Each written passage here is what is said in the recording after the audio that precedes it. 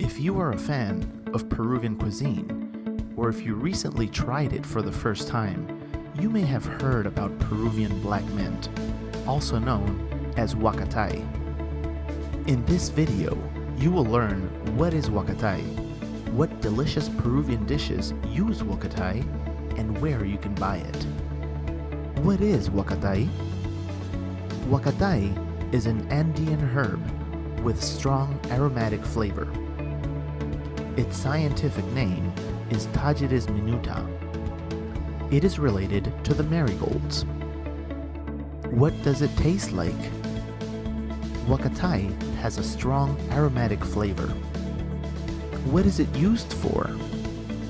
Huacatay is the key ingredient in the popular Peruvian dish known as ocopa.